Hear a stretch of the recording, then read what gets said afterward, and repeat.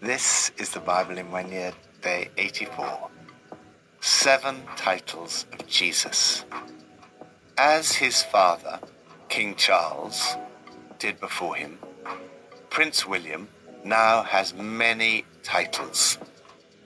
He is the heir apparent to the crown, His Royal Highness, the Prince of Wales, Knight of the Garter, Earl of Strathearn, Baron Carrickfergus, Duke of Cornwall and Cambridge, Duke of Rothesay, Knight of the Thistle, Rear Admiral, Grand Master of the Order of Bath, Earl of Chester, Earl of Carrick, Baron of Renfrew, Lord of the Isles, and Prince and Great Steward of Scotland. Titles are attached to people by virtue of rank, office, or attainment. In the Bible, Jesus is given far more titles than any royal prince. In fact, there are well over a hundred titles ascribed to Jesus. The whole Bible revolves around Jesus. Seven titles of Jesus emerge from the passages for today, and each reveal something distinct about Jesus. They help you to see what it means to put Jesus in the center of your life.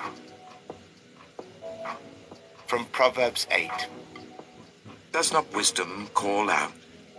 Does not understanding raise her voice? At the highest point along the way where the paths meet, she takes her stand. Beside the gate leading into the city, at the entrance, she cries aloud. To you, O people, I call out. I raise my voice to all humanity. You who are simple, gain prudence. You who are foolish, set your hearts on it. Listen, for I have trustworthy things to say. I open my lips to speak what is right. My mouth speaks what is true, for my lips detest wickedness. All the words of my mouth are just. None of them is crooked or perverse. To the discerning, all of them are right. They are upright to those who have found knowledge. Choose my instruction instead of silver, knowledge rather than choice gold. For wisdom is more precious than rubies, and nothing you desire can compare with her. First title of Jesus Wisdom of God. Many people today have no idea how to live. They make a mess of their marriages and other relationships. Often they wreck their own lives and the lives of others. We all need wisdom in order to live well. Where is wisdom to be found? The New Testament answer is that ultimately it is found in Jesus Christ. St. Paul writes, Christ, the wisdom of God. The wisdom of God is one of Jesus' titles. Wisdom in the book of Proverbs is personified and female, Lady Wisdom, Madam Insight. She's contrasted with an adulterous woman who lurks at street corners when darkness falls and who speaks in secretive, seductive whispers. Wisdom openly competes against her right in the city square when the traffic is thickest and offers herself as a counter-attraction, a pure bride rather than a fatal seductress. This shows us that wisdom is not just about knowledge but that to be wise is to live well. The first step to living well is to set the right goals and ambitions. Seek wisdom rather than the sensual pleasures represented by the adulteress. Wisdom is highly desirable. It, or rather she, is better than silver, gold, or jewels. Choose my instruction instead of silver, knowledge rather than choice gold, for wisdom is more precious than rubies, and nothing you desire can compare with her. If you want true wisdom, it starts with a relationship with Jesus Christ. That relationship is far more valuable than anything the world can offer and will have an effect on the way you live out your life. An example of this wisdom is excellence in your speech, honest, truthful communication with words that are righteous and true. Lord Jesus, Thank you that true wisdom is found in a relationship with you. You are more precious than rubies and nothing I desire can compare with knowing you. Help me today to act wisely and to speak words of wisdom that bring blessing to others. New Testament from Luke 5 and 6. They said to him, John's disciples often fast and pray and so do the disciples of the Pharisees, but yours go on eating and drinking. Jesus answered, Can you make the friends of the bridegroom fast while he's with them? But the time will come when the bridegroom will be taken from them. In those days they will fast. He told them this parable. No one tears a piece out of a new garment to patch an old one. Otherwise they'll have torn the new garment, and the patch from the new will not match the old. And no one pours new wine into old wineskins. Otherwise the new wine will burst the skins. The wine will run out, and the wineskins will be ruined. No, new wine must be poured into new wineskins. And no one after drinking old wine wants the new, for they say the old is better. Luke chapter 6 One Sabbath, Jesus was going through the cornfields, and his disciples began to pick some ears of corn, rub them in their hands, and eat the grain. Some of the Pharisees asked, Why are you doing what is unlawful on the Sabbath? Jesus answered them, Have you never read what David did when he and his companions were hungry? He entered the house of God, and taking the consecrated bread, he ate what is lawful only for priests to eat, and he also gave some to his companions. Then Jesus said to them, The Son of Man is Lord of the Sabbath. On another Sabbath, he went into the synagogue and was teaching, and a man was there whose right hand was shriveled. The Pharisees and the teachers of the law were looking for a reason to accuse Jesus so they watched him closely to see if he would heal on the Sabbath. But Jesus knew what they were thinking and said to the man with the shriveled hand, Get up and stand in front of everyone. So he got up and stood there. Then Jesus said to them, I ask you, which is lawful on the Sabbath, to do good or to do evil, to save life or to destroy it? He looked around at them all and then said to the man, Stretch out your hand. He did so, and his hand was completely restored. But the Pharisees and the teachers of the law were furious and began to discuss with one another what they might do to Jesus. Second title of Jesus, Bridegroom. The title of the Bridegroom is used in the Old Testament to refer to God himself as a bridegroom rejoices over his bride, so will your God rejoice over you. Jesus, in the use of this image, puts himself in the place of God, not ostentatiously, but almost incidentally. It was for him a perfectly natural substitution. Jesus' assumption of the divine role is all the more impressive. The image of Jesus as the bridegroom, us as the bride, is one of the greatest possible intimacy. It is also an image which points forward to the ultimate consummation of your relationship with Jesus when he returns. You are called to prepare yourself with the same care and love as a bride on her wedding day, particularly focusing on righteous living. Jesus' teaching is radically new. It cannot be fitted into the thought forms or behavior patterns of the Pharisees. New wine requires new wineskins. Lord, thank you that you call me to an intimate relationship with you and rejoice over me as a bridegroom rejoices over his bride. I want to respond with my love and intimate worship. Third title of Jesus, Son of Man. This was Jesus' favorite way of referring to himself. This is a messianic title. Daniel 7 speaks of one like a son of man and it's likely that this aspect of Jesus' understanding of his identity and mission stems from that passage. It's a title that combines authority and power with humility and suffering. We are reminded both of Jesus' love for us and his authority over us. Often we can focus on the first without paying enough attention to the second. Submit to Jesus' authority, obeying his teaching, and following where he leads you. Lord, thank you that you are the representative Son of Man who suffered for me. Fourth title of Jesus, Lord.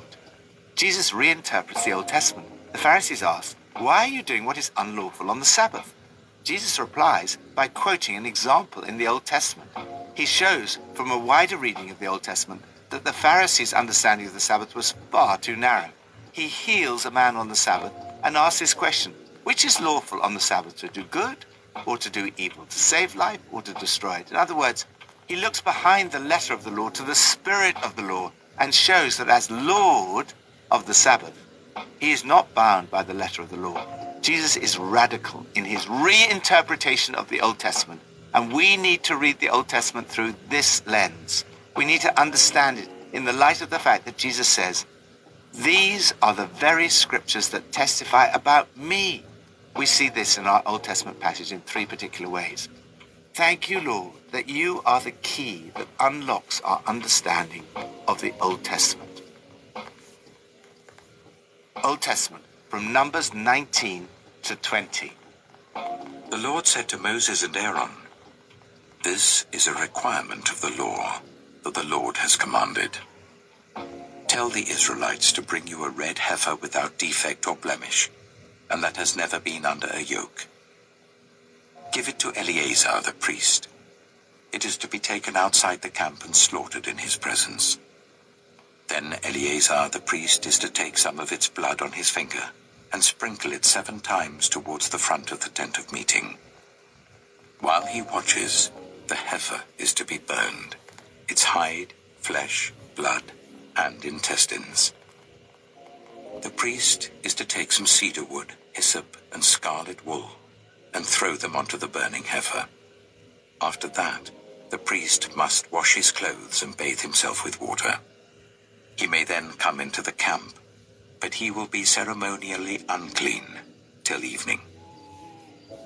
The man who burns it must also wash his clothes and bathe with water, and he too will be unclean till evening. A man who is clean shall gather up the ashes of the heifer and put them in a ceremonially clean place outside the camp. They are to be kept by the Israelite community for use in the water of cleansing. It is for purification from sin. The man who gathers up the ashes of the heifer must also wash his clothes, and he too will be unclean till evening. This will be a lasting ordinance both for the Israelites and for the foreigners residing among them. Whoever touches a human corpse will be unclean for seven days. They must purify themselves with the water on the third day and on the seventh day. Then they will be clean. But if they do not purify themselves on the third and seventh day, they will not be clean. If they fail to purify themselves after touching a human corpse, they defile the Lord's tabernacle. They must be cut off from Israel. Because the water of cleansing has not been sprinkled on them, they are unclean their uncleanness remains on them. This is the law that applies when a person dies in a tent. Anyone who enters the tent and anyone who is in it will be unclean for seven days. And every open container without a lid fastened on it will be unclean. Anyone out in the open who touches someone who has been killed with a sword, or someone who has died a natural death, or anyone who touches a human bone or a grave will be unclean for seven days. For the unclean person, put some ashes from the burned purification offering into a jar and pour fresh water over them. Then a man who is ceremonially clean is to take some hyssop, dip it in the water and sprinkle the tent and all the furnishings and the people who were there. He must also sprinkle anyone who has touched a human bone or a grave, or anyone who has been killed, or anyone who has died a natural death. The man who is clean is to sprinkle those who are unclean on the third and seventh days, and on the seventh day he is to purify them. Those who are being cleansed must wash their clothes and bathe with water, and that evening they will be clean. But if those who are unclean do not purify themselves, they must be cut off from the community, because they have defiled the sanctuary of the Lord. The water of cleansing has not been sprinkled on them, and they are unclean. This is a lasting ordinance for them. Man who sprinkles the water of cleansing must also wash his clothes, and anyone who touches the water of cleansing will be unclean till evening. Anything that an unclean person touches becomes unclean, and anyone who touches it becomes unclean till evening. Numbers chapter 20 In the first month, the whole Israelite community arrived at the desert of Zin, and they stayed at Kadesh. There, Miriam died and was buried. Now there was no water for the community, and the people gathered in opposition to Moses and Aaron. They quarreled with Moses and said, If only we had died when our brothers fell dead before the Lord. Why did you bring the Lord's community into this wilderness, that we and our livestock should die here? Why did you bring us up out of Egypt to this terrible place? It has no corn or figs, grapevines or pomegranates, and there is no water to drink. Moses and Aaron went from the assembly to the entrance to the tent of meeting and fell face down, and the glory of the Lord appeared to them. The Lord said to Moses, Take the staff, and you and your brother Aaron gather the assembly together. Speak to that rock before their eyes, and it will pour out its water. You will bring water out of the rock for the community, so that they and their livestock can drink. So Moses took the staff from the Lord's presence, just as he commanded him. He and Aaron gathered the assembly together in front of the rock, and Moses said to them, Listen, you rebels, must we bring you water out of this rock? Then Moses raised his arm and struck the rock twice with his staff. Water gushed out, and the community and their livestock drank. But the Lord said to Moses and Aaron, Because you did not trust in me enough to honor me as holy in the sight of the Israelites, you will not bring this community into the land I give them.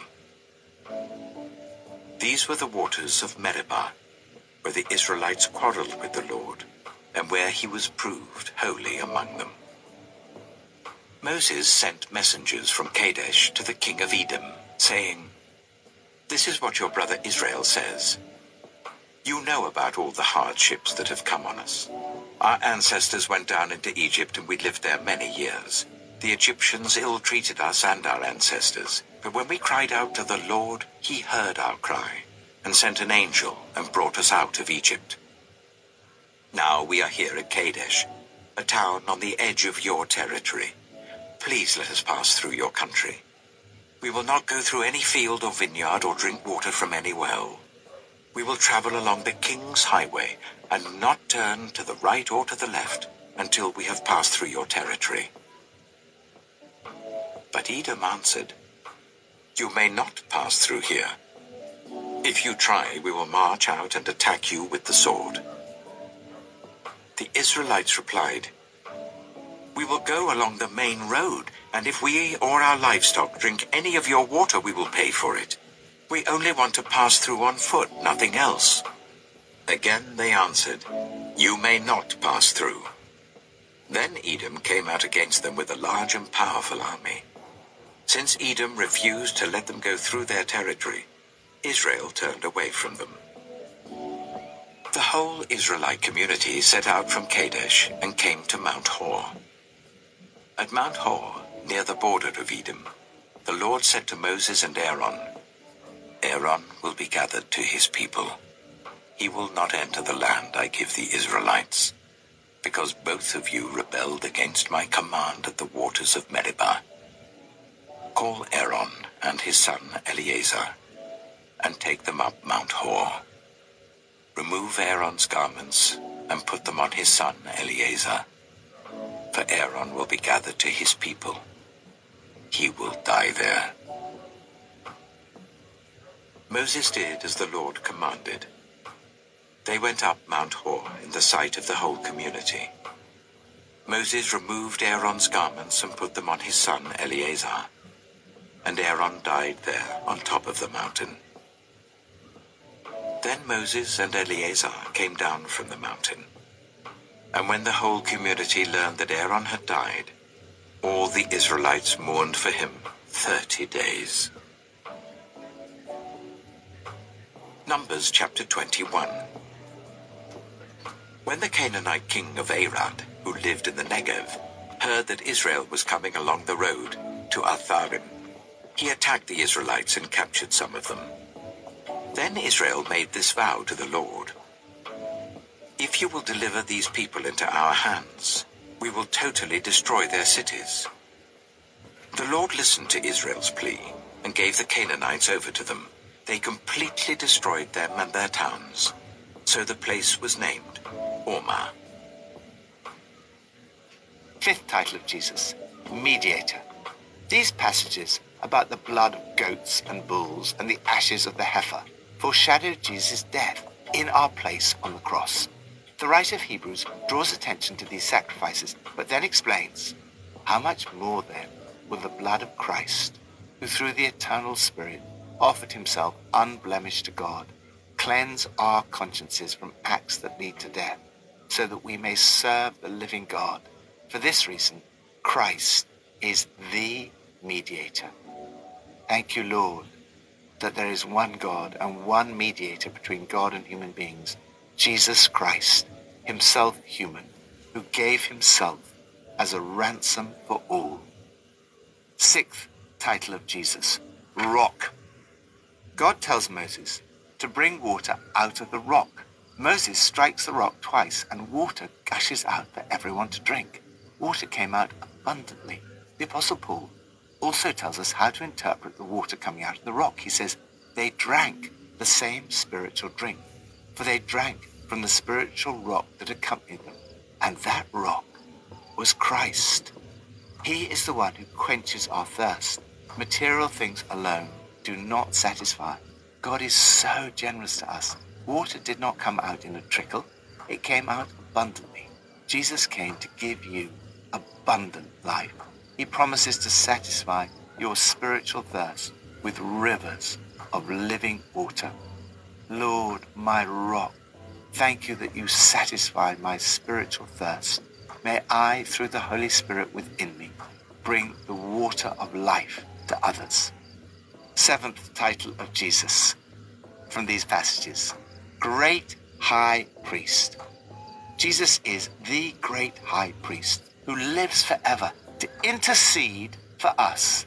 The death of Aaron reminds us that one of the weaknesses of the Levitical priesthood was that these priests died. The writer of Hebrews contrasts these priests like Aaron, whose death prevented them from continuing in office, with Jesus, who lives forever and has a permanent priesthood. Therefore, he is able to save completely those who come to God through him, because he always lives to intercede for them. This reminds us of the certainty you can have in your faith. You do not have to worry about whether you will be good enough. You can be totally confident in the salvation that you have in Jesus. Thank you, Lord, my great high priest who lives forever, that you are able to save me completely. Thank you that you rose from the dead and live to intercede for me. Thank you that you are interceding for me right now. Pippa adds Take encouragement from Luke 6, verse 1. We don't have to feel guilty about taking a day off. We need to rest, recover, and enjoy it.